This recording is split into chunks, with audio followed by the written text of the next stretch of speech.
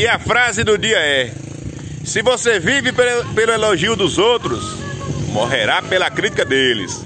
Rasta pra cima e tchau, obrigado. Vamos junto.